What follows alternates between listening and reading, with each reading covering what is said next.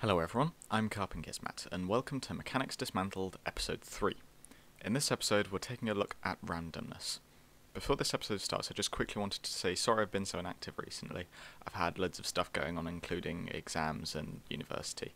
Well, that and the whole global plague thing. Anyway, let's get going. A lot of games include random chance, from random encounters and procedurally generated maps, to the classic hit rolls, damage rolls, and dealing from decks of cards. Randomness is a way of keeping the player on their toes, preventing them from seeing a game as a set of absolutes, and instead makes them judge risks and probabilities against each other before deciding the best choice to make. In games design, we often refer to two types of randomness input randomness and output randomness. These were first coined by board game designer Geoff Engelstein on his podcast, Ludology. He defined input randomness as a situation in which the randomization occurs before the player making a choice, and we'll start by talking about that. A good example of input randomness is being dealt a hand of cards. The cards you receive from a shuffled deck are random, but you make the ultimate decision as to what happens with that random hand. Input randomness can be very good because the player feels like they have much greater degree of control. Even in the case of a terrible hand, you can still try and make a plan and still try and do your best. Another example of input randomness is procedurally generated map in an open world game like Subnautica, or a dungeon crawler like Enter the Gungeon. You can almost think of the world like a deck of cards that you get dealt at the start of the game, and that you have to deal with as long as you play. Now, let's move on to output randomness. Output randomness is a situation where the randomness occurs after the player has made a choice. There are two really good examples of this dice and random numbers generated by computers. I've included them together since, well, randomly generated numbers are basically the computer's equivalent of rolling dice. Dice are particularly popular in tabletop games, though I'm not sure 100% why. I went around trying to find card-based tabletop games, but I couldn't really find anything that closely resembled Warhammer, D&D, Call of Cthulhu, or any of the other dice-based tabletop games we know and love.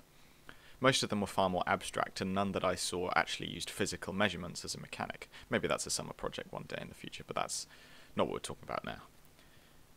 Anyway, output randomness like hit rolls, victory chance, hit percentage, and random damage values are all over the place, in so many games, across so many different genres. They force the player to add up the chances and decide whether the risk is worth it. If a hit only has 5% chance of damaging, you're far more likely to turn your guns on something you can actually hurt. The drawback to output randomness is that it gets really, really frustrating when it goes wrong. Like when you finally get through an enemy titan's defenses and you roll a fucking 3 for your damage. Yeah, so, output randomness forces you to consider risk in a different way. It can come at the risk of bloodshed, though. This is a side note, but I just thought it was a fun little fact. Older computer systems didn't have effective methods of generating random numbers, the maths hadn't been invented yet, so they did something different. In their code, they had a list of values, usually from 0 to 255, in a random order that was generated when the game was created, and a pointer, which pointed to the currently selected number. Every time the game needed a random number, it would return the value at the pointer and advanced on to the next number. This method of pseudo-random number generation was used in Doom 1993 for damage numbers, random animations, and enemy spawning, as well as several other things. But then we figured out how to generate better pseudo-random numbers by just using really complicated maths. This is the linear congruential random number generator, and it's used a lot today. That being said, the LCRNG isn't truly random. It's still pseudo-random, but just a lot closer to true randomness. Nowadays, banks and security networks, which need extremely random numbers for really secure encryption, use the incredibly precise science of a big wall of lava lamps.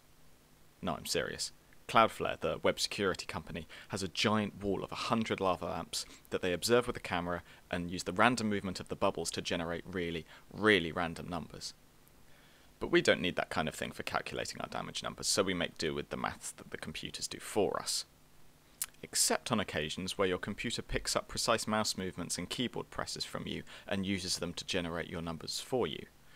Which is a thing that some systems and video games do. You may be fulfilling the role of a lava lamp without even knowing it. Sorry, I realise I went on a giant tangent just to talk about something that's not even totally relevant to the video, but I just find it really interesting, and it justifies me photoshopping a stupid thumbnail. I've been talking about randomness all throughout this video without mentioning one very important caveat with regards to video games. Randomness is often a lie, or at least it's often not totally true. As humans, we have a weirdly distorted perception of chance. To us, 90% is basically a guaranteed success, despite the very real 10% chance of failure. And video games often fudge the numbers for the sake of user experience. If a game tells you you have a 90% chance of success, you probably more have a, like a 98% chance. The Civilization series has a history of this, no pun intended. And apparently, in one game, the developers coded it so that it was impossible to fail a one third chance battle three times in a row. Even that's actually not how probability works at all. Jake Solomon, the creative director of XCOM, said, We don't want players missing multiple 85% shots, because then the game starts to feel punitive. That 85% isn't actually 85%. Behind the scenes, we wanted to match the player's psychological feeling about that number. Randomization is a key part of many games, and it's really interesting to look at the different types of randomness, the reaction they invoke for a player, and the different ways they're implemented. I've been Carpengizmat, and thanks for joining me on this episode of Mechanics Dismantled. If you enjoyed, be sure to subscribe down below and leave a comment suggesting what I should cover next. While I was talking about this episode to one of my friends, they suggested D&D, but instead of dice, the DM used tarot cards to decide what happened, and I think that is a stroke of genius, to be honest.